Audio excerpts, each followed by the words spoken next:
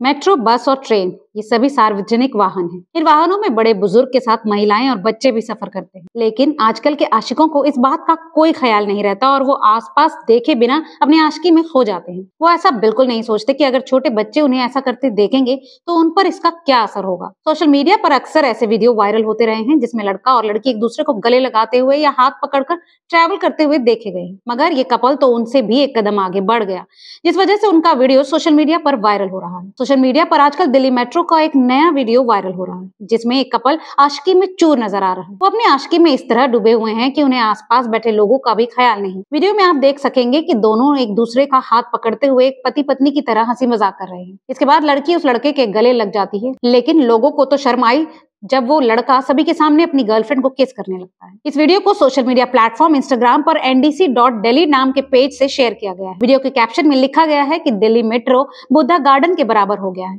इस बारे में आपको क्या लगता है? हमें कमेंट करके ज़रूर बताएँ। फ़िलहाल इस रिपोर्ट में केवल इतना ही। ऐसे तमाम और खबरों के लिए देखते रहिए रिपोर्टर जी।